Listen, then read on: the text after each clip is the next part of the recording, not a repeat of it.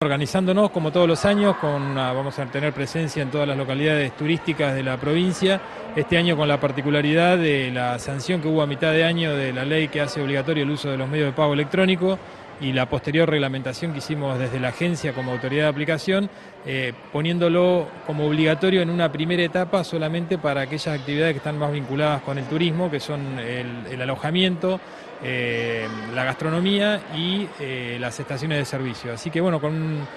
con una campaña previa de difusión importante y con, unos incipientes controles que estamos haciendo previo a la temporada de verano para luego sí ya en, la temporada reforzar los controles,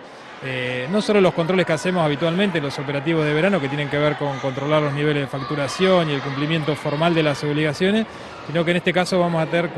controlando también el cumplimiento de esta ley. ¿El comercio está tomando conciencia de la utilización del POSMI? Sí, vemos que, están, este, que vienen muchas consultas. Hay algunas consultas, sobre todo en, las grutas, por alguna dificultad técnica que se presenta con la instalación eh, de las líneas telefónicas, pero es, es una dificultad que está contemplada en la ley y en aquellos casos en que la telefónica no provea de, las líneas, eh, no se van a aplicar sanciones, o sea que eh, la verdad que está, está previsto, está prevista también una excepción para los pequeños contribuyentes. La idea es avanzar con la, difusión y la,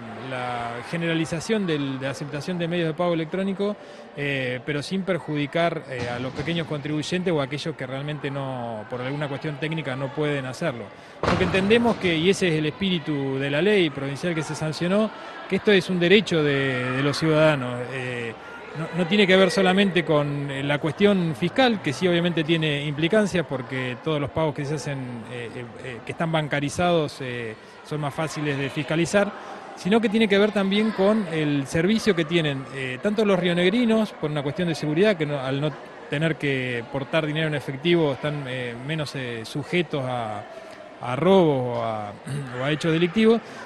sino también con el servicio que le estamos dando a quienes nos visitan, a los veraneantes, que bueno, todos los años veíamos eh, y, era un problema eh, las largas colas que había en los cajeros en, las grutas para hacerse dinero en efectivo, porque todos los bienes o servicios que tenían que, comprar en la villa eh, solo aceptaban efectivo como medio de pago. bueno, este fue un poco el espíritu de la ley que se sancionó a mitad de año y nosotros como autoridad de aplicación estamos viendo que se cumple.